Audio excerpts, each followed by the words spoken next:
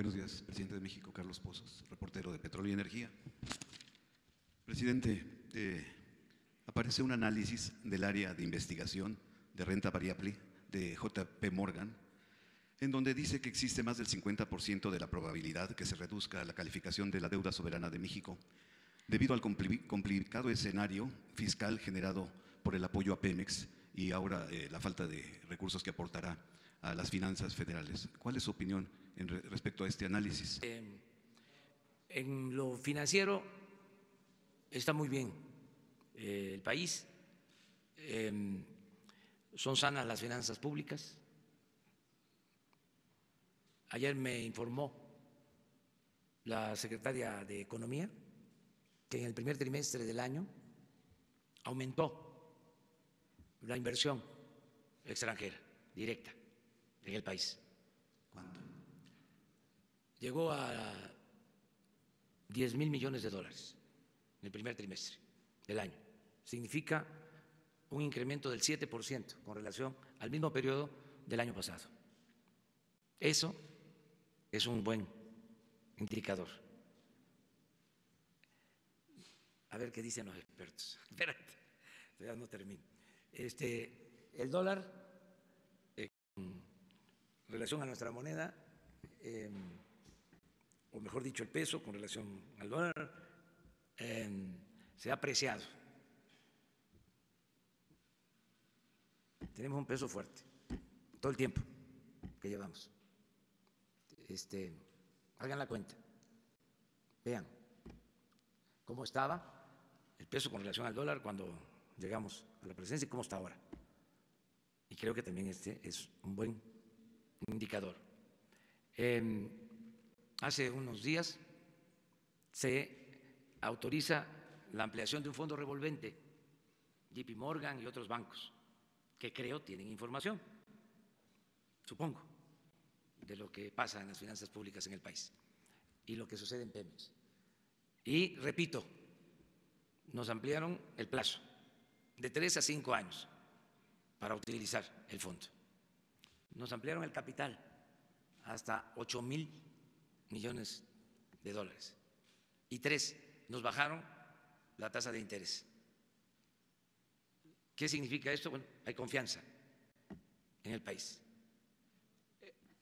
Tenemos eh, mucho potencial en reservas petroleras. La semana próxima vamos a ir a un campo eh, petrolero, les invito, que va a producir mucho crudo y que nos va a permitir, junto con otros campos petroleros, levantar la producción de petróleo. Porque se está invirtiendo, como no se hacía en los últimos años, en exploración, en perforación de pozos petroleros. Entonces, va bien la economía. De todas maneras, las calificadoras son libres y ellos van a decidir.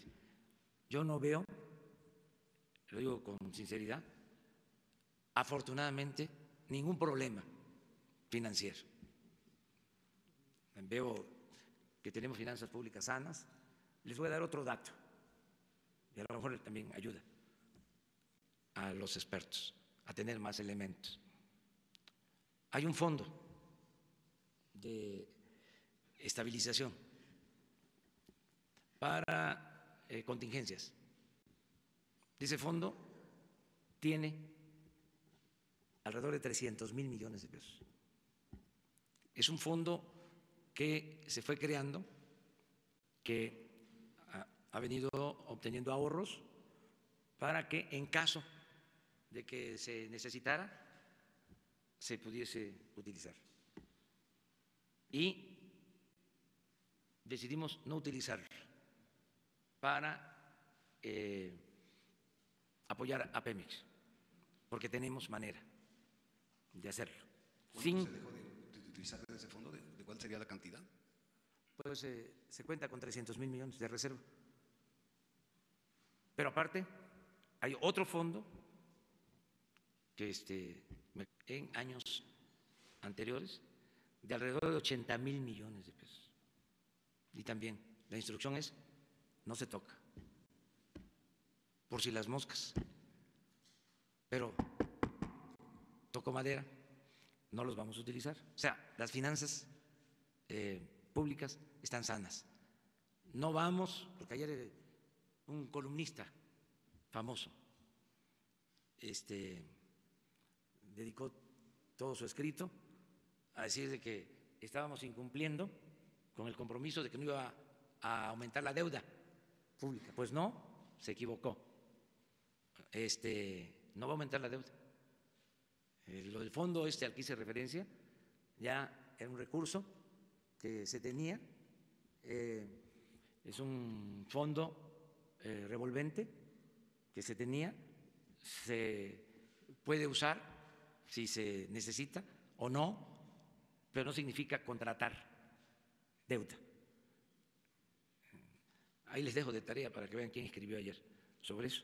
Entonces, con todo respeto, este, se equivocó, no le pasaron bien la información.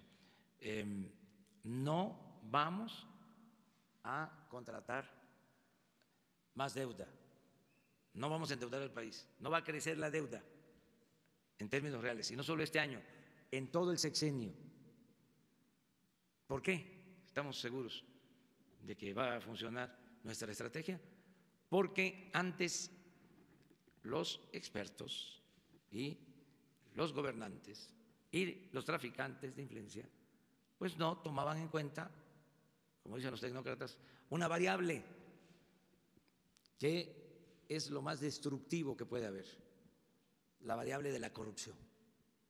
Entonces, como no hay corrupción tolerada ahora, eso nos permite liberar muchos fondos para el desarrollo.